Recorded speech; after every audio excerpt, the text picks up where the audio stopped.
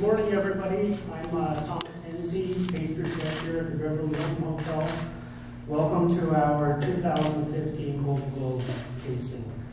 I'm going to be presenting the dessert for you today, and what we chose today is a trio of desserts, and which includes a chocolate alliance dome. I've got a chocolate hazelnut almond dacquoise cake, and a cassis cheesecake with uh, a little bit of mousse on top. So let me go ahead and pre- present the dessert. It's a very simple presentation. First thing that we'll do is we'll put a little bit of chocolate sauce. Line so.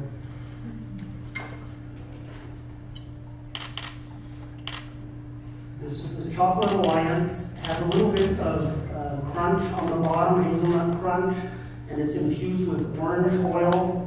And I love the way orange marries with uh, chocolate.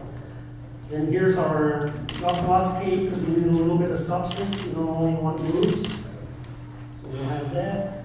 And then here's our cheesecake with the cassis mousse on top.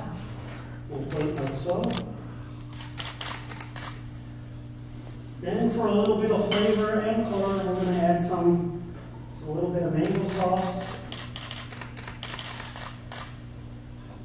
Got Some vanilla glaze. A little bit of raspberry sauce. We can't forget the gold dust. Sparkle it up a bit. And then a white chocolate stick to finish up.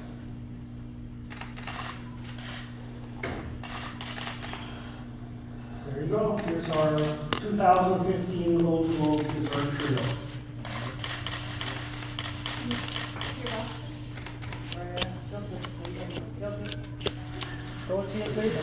Just in the On the middle, please. side. And to the other side. All the way to the right. please.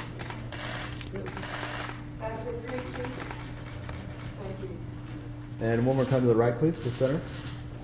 Thank you. And chef, one more time right here.